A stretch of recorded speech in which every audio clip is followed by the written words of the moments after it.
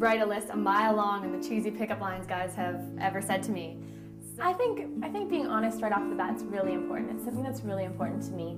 No, if it's a true, generous um, compassion that they have for women, then um, then it's a beautiful thing. And and I think that a guy that would have it for women would have it for all people.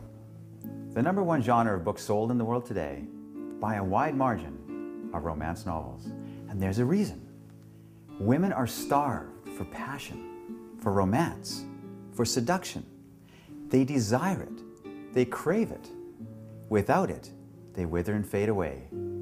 Every woman wants to be in a love story. Now, I am often asked, what credentials do you have to give dating or relationship advice? Well, that's a very good question. And the answer is, I have none.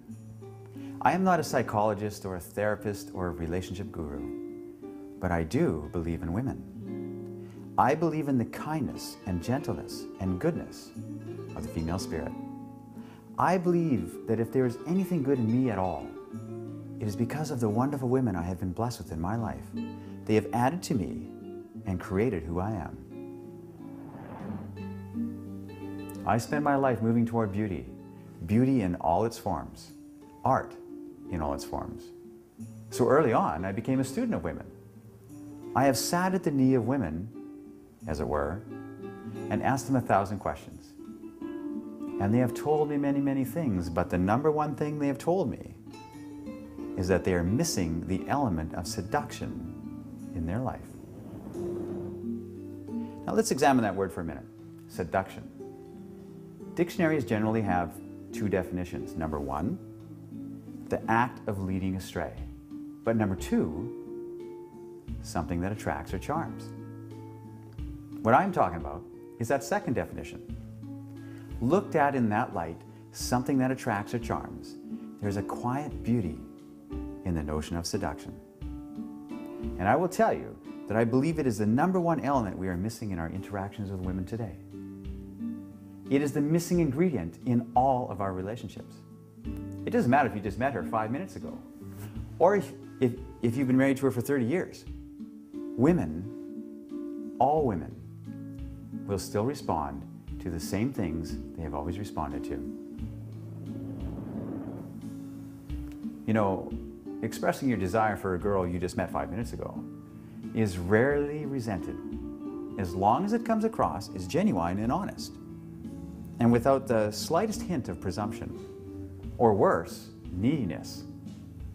In fact, a woman might pretend to be offended if you attempt to seduce her, but she will definitely be offended if you don't. This is because women are complicit in their own seduction. They want to be seduced. And if you've been married to her for 30 years, she still longs for the same thing she always has. She wants you to read to her in bed, to stroke her hair, to like her dress, to trail your fingers in the water when she's taking a bath, to be a man who knows what he likes and who moves through life without apology. Well, that's what enlightened seduction is all about. If I were to describe what I'm trying to do in one sentence, I would probably say, I teach men that women are beautiful. Because when you believe that, they start to believe it too. There's a natural seducer inside of you, a side of you that is more attractive and powerful than you ever imagined. You just have to learn to discover and release it. And you are about to embark on a journey of discovery, the discovery of a more elegant and more excellent and a more enlightened way of interacting with women and moving through this world.